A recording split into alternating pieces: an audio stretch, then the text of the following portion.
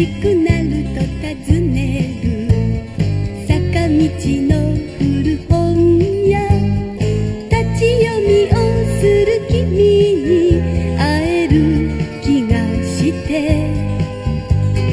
心がシュンとした日は昔なら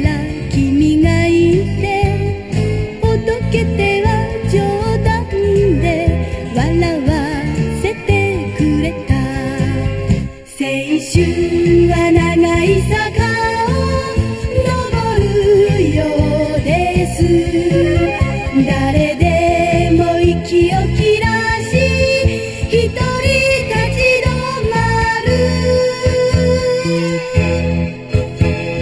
そんな時君の手の優しさに包まれて気持ちよく泣けたな。ら幸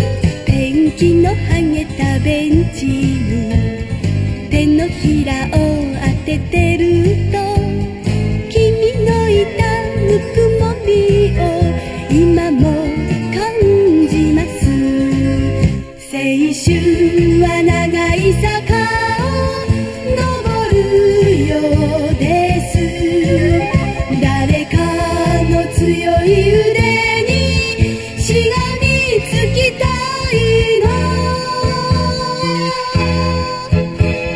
君といた年月が矢のように過ぎ去って残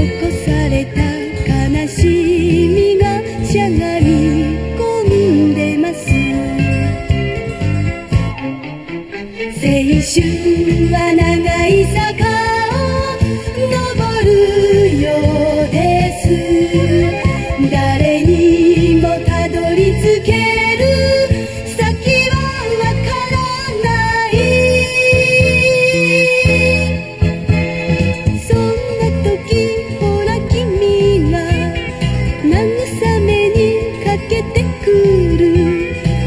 せの